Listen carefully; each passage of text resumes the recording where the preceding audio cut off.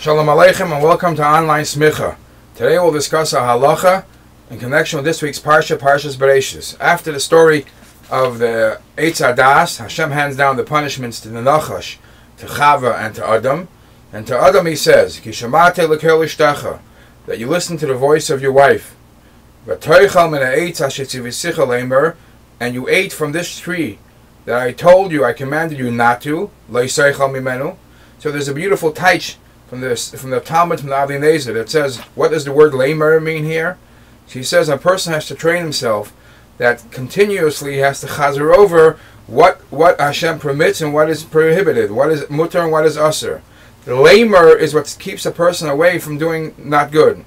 And uh, an Adam Arishan's fault was that he, I told you lamer, I told you can chazer over, not to eat, not to eat, not to eat, and you did not do it, and that's what caused you to fall.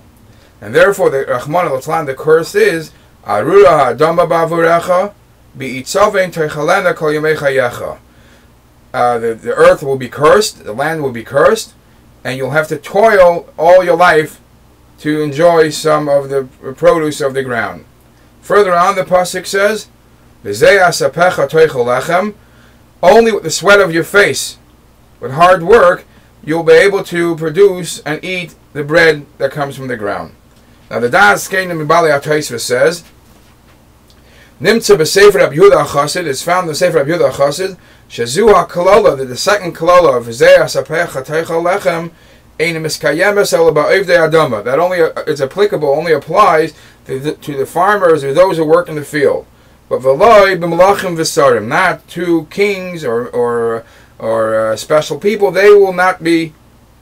Uh, uh, uh they will not have this kalala. Avo be'etzev tildi banim, but the kalala that Hashem gave to Chava, that was through suffering, only through hard child labor, she she will give birth to children. Miskayem nashim. That will apply. That will apply to any woman. And the reason why uh, Chava got a harsher punishment than Adam is Lofisha Isha Chata Vehichtia, since the woman Chava not only she sinned but she caused others to sin. Therefore, her curse is harsher. However, other Mefarshim say it's basically uh, stood from the Gemara Sachim. The Gemara Sachim says Kashim is a of Shal Adam it is harder to produce a good living, a kosher living.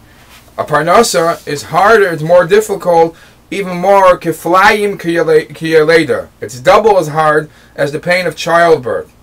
And the Gemara proves it from the pasuk that by uh, by the curse, by the kalala that Abishah gave to Chava, he says be'etzev til dibanim, lashon yachid. And when the by the kalala of Adam it says be'itzavain lashon rabim. And simply translated is it means that, uh, yes, child labor is a tremendous sorrow, tremendous suffering, but you always have that vision that times will be better once the child is born and you'll have only simchas. Whereas the struggle and the tsar of Parnasa is always. And that's why it's kiflayim keileda. The Gemara goes on and says Rabbi Lazar brings two other two other comparisons how how hard it is to make mizaynaysa shalad and Parnasa. Rabbi Lazar says, "Kashim as a of shaladim kekriyas yamsuf." It's great. It's as hard as for Hashem to produce parnasa for everyone, just as hard it was for, to to split the sea, yamsuf.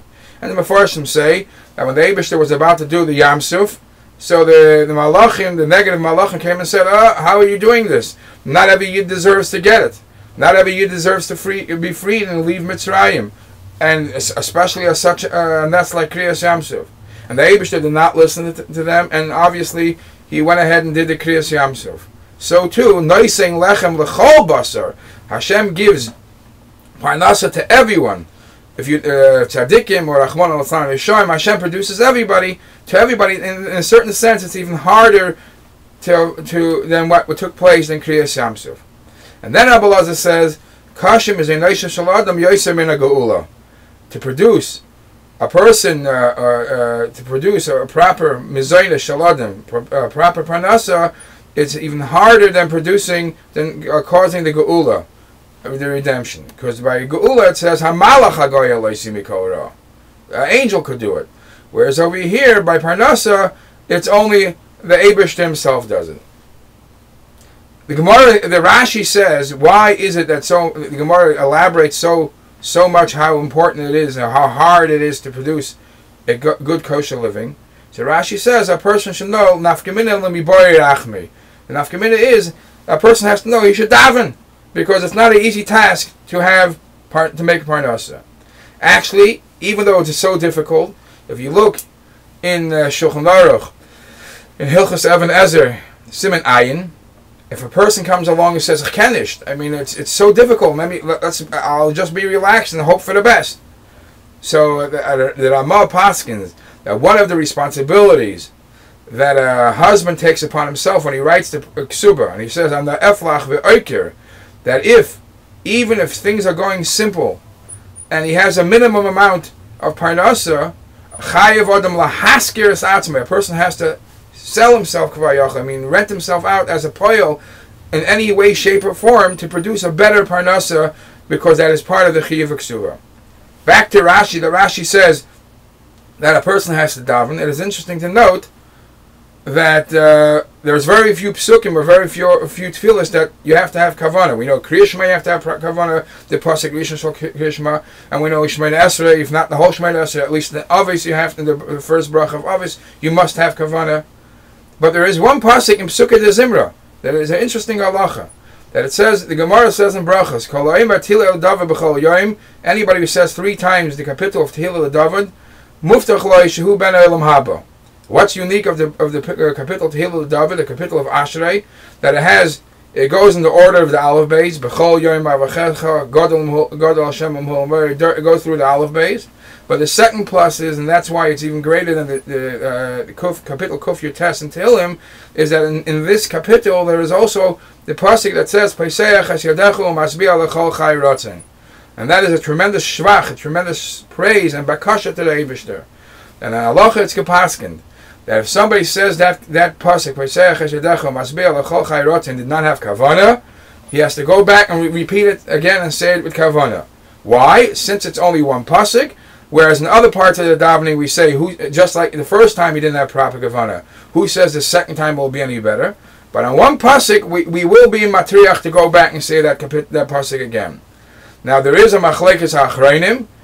What does it mean? What happens if you uh, uh, if you're going back to say this pasuk? Do you just say the Pesach Hashidacha, or you say everything afterwards again? So the Mishnah Berurah says you just you have to say Pesach Hashidacha at Seif Hamizmer until Vanachnu Levarach you have to continue the rest of the Mizmer.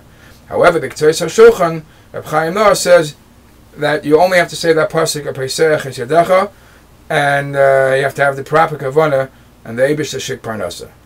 And it's, uh, it is also a minig Yisrael that b'shas Pesach and Yadecha, you're mamashmesh b'tefillin, you touch the shel For those who are wearing tefillin, you touch the shel and touch the shel And the hezber is given, it's brought in time of Hagim, that person has to know again, that the Abish is the one that sends the Parnasa, and the Parnasa is given to us for Inyane, uh, not, not so much for Inyane Rishus and Aguf, for, for Gashmias fulfillment, but Laman Shemecha, we touched the tefillin to say it's not only for Hanar Saguf, but it's Hanar Sarchi Shemayim.